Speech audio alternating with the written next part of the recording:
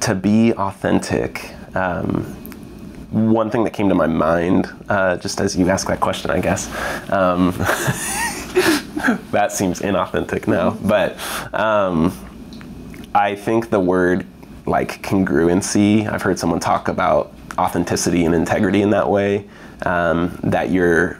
wanting your private life and your public life to become the gap between those two to become smaller and smaller so that who you are in front of people and who you are behind closed doors or on stage and off stage um, becomes closer and closer together. And recognizing there may always be a little gap there but kind of making that gap smaller